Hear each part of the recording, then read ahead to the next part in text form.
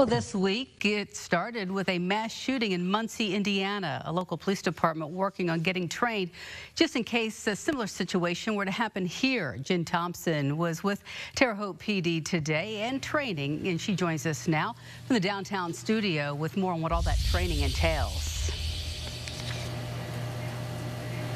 Dana, THPD gave me an inside look at their active shooter training.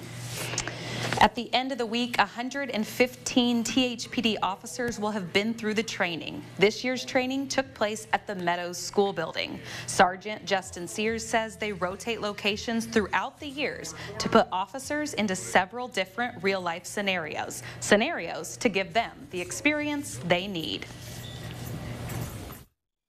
If you don't get the repetitions when you get into a serious uh, situation like this, uh, your senses start being overloaded. If you haven't been exposed to it before, you might start getting tunnel vision, just little things like that. So when we create this lifelike scenario, it'll make it that much easier if it, God forbid, were to happen.